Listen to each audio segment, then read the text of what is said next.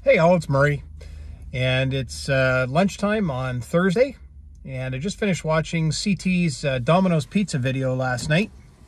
And uh, got me in the mood for pizza. So I was talking to him last night. And uh, we decided that I would try the Brooklyn Pizza here in Canada. He was down in the US and had tried it. So I just ran out and grabbed a nice, hot, fresh Brooklyn Domino's Pizza grab the same bottle of Diet Coke, actually Coke Zero. Grab two dipping sauces. Unfortunately, they don't have blue cheese here, CT, so I got a garlic, and I got a ranch.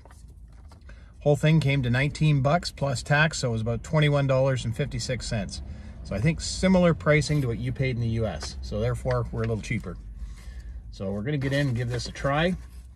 Super thin crust. Smells fantastic. I'm darn hungry. It's almost 1.30.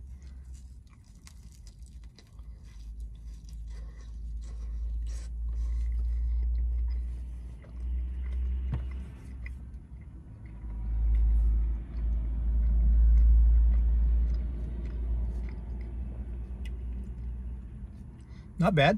Um, typical Domino's pizza, in my opinion. Uh, doesn't taste bad, doesn't taste good. It's really nice and hot, which is great. I'm gonna go in with a little bit of the garlic dip on this one.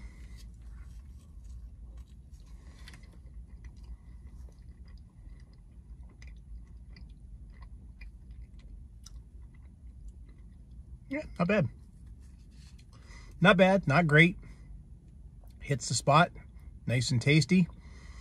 Um, for 21 bucks for a meal, it's not bad. And uh, yeah, thanks CT. I was looking forward to this. I'm not disappointed. I'm going to enjoy every bite. Everybody have a great day. Stay safe.